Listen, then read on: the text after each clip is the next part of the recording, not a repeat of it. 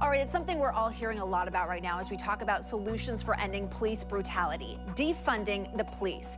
It's not a new idea, but it is new to a lot of people just learning about it. So, what does it mean? The answer really depends on who you ask. On one end of the spectrum, there are some who say defunding the police means stripping away police funding and disbanding it altogether. MPD 150, a community advocacy organization in Minneapolis, for instance, is working to move to a police free future.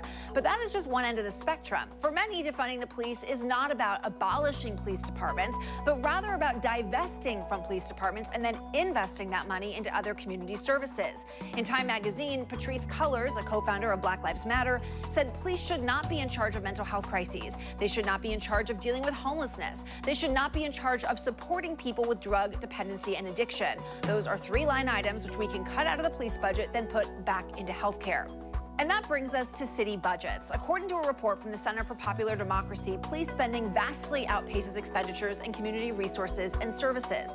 They say in Oakland, 41% of the general fund expenditures in the 2017 fiscal year was spent on policing, the highest percentage of all the cities they studied. And for every dollar spent on OPD, the Human Services Department received 29 cents, Workforce Development received 2 cents. So the idea of defunding the police is about decreasing or closing that gap.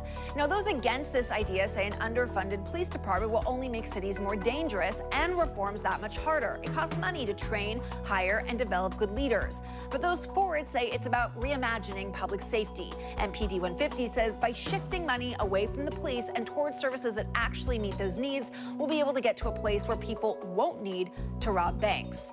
And that's broadly what activists mean when they say defund the police.